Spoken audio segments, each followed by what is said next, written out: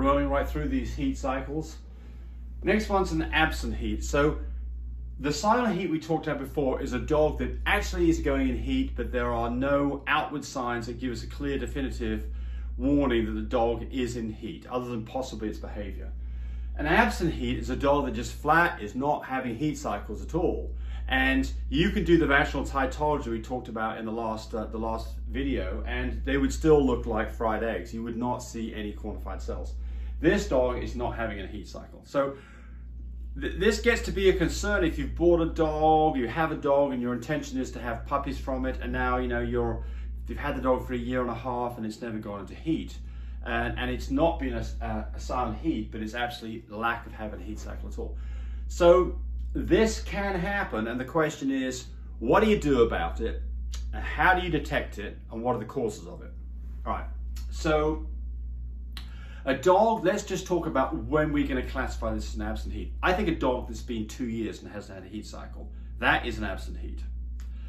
Uh, that's a dog that the first thing I would do is, well, I'd do a couple of things. I'd go get, um, well, let's talk about the causes of this, and then we'll talk about why, what we're going to do. So the causes of this can be um, hypothyroidism, hypothyroid, hypothyroid. This is a dog that has a low thyroid levels, and that can be detected from blood tests. So this is one of the things to do, is to go get a, a complete blood count, CBC, get a complete blood count, go look at the whole basic blood profile of this dog, and in particular, look and see whether you have a low high, a low thyroid situation. Because if you do, that can stop the whole thing from rolling, and you can fix that by taking the appropriate synthetic high thyroid. Um, another one would be a, um, a cyst or tumors, and these things can you can get a cyst or a tumor that produces progesterone.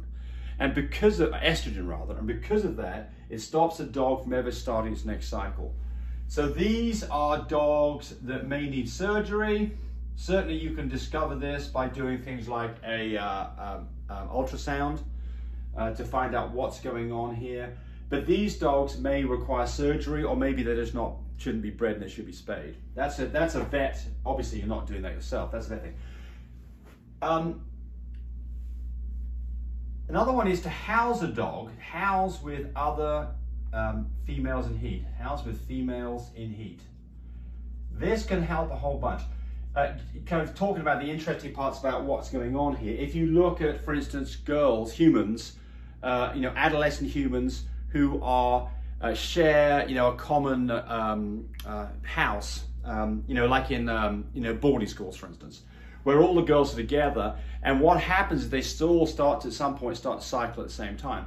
So you can take a dog that has not cycled at all and put it with a dog that is cycling, and that absolutely can bring a dog into heat. So that's a that, that is a definite try right there. It's, I mean, if you've got a dog that's in heat around, it's a freebie, right? Just be a little careful about the fact that dogs and he can have sensitive, you know, be a bit sensitive and you can get fights. So just be a little careful about that. But again, the same thing is if the dogs will get along to each other with each other, then put them in the same area uh, and see whether or not they'll bring one another in. Then there is products like PG600, which is actually a, uh, a, um, a hormone that's used for pigs.